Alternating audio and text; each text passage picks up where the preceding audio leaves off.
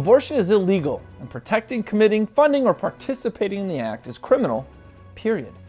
The truth of my assertion can easily be seen in America's founding documents. For example, in the Declaration of Independence, our founders were acknowledging a self evident truth, wherein they stated, All men are created equal with certain unalienable rights.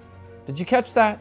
They were not born equal, but rather created equal by their Creator with certain unalienable rights, chiefly life. And we all know every human being is created in the womb of their mother.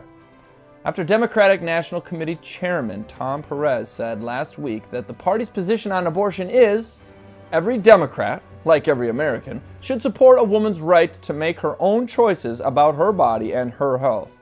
He continued, This is not negotiable. Next, Senate Minority Leader Chuck Schumer unequivocally asserted, But we are, let's make no mistake about Right. it, we're a pro choice party. We're a strongly pro choice party.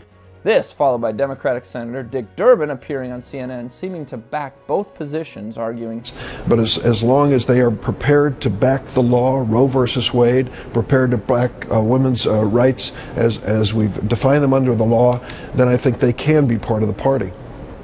In other words, those who are opposed to abortion are only welcome in the party if they are prepared to support policies that safeguard abortion. And for the unaware senator in Illinois, there is no legislation that made abortion legal. There's only a Supreme Court opinion with no legislative authority. This ignorance was not shared by America's founding fathers. Take, for example, Declaration of Independence signer Benjamin Rush, who was also a doctor. He stated that life's, quote, first motion is produced by the stimulus of the male seed upon the female ovum. No sooner is the female ovum thus set in motion and the fetus formed than its capacity of life is supported. In the Constitution, we find the framers securing and guaranteeing protection of all life in the Fifth Amendment. No person shall be deprived of life without due process of law. This applies to every living person, and we know abortion violates this right by killing babies before they're born, let alone before due process. Today, we know far more about our biological development than Benjamin Rush could. We can actually see our children inside their mothers. We can hear their hearts beating, and they're no bigger than jelly beans. We can craft 3D models of your child's face before they're born.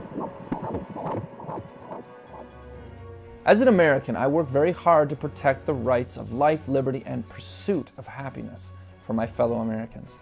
I have many sincere friends who believe very strongly in the Democratic Party and platform. And with equal sincerity, I ask of the friends and family members that I love very dearly Are you able in good conscience to be counted with this capital felony mindset that others can choose if you, your children, or your fellow man deserve life, liberty, or the pursuit of happiness? This is Jake MacAulay with the Institute on the Constitution, bringing you the American View.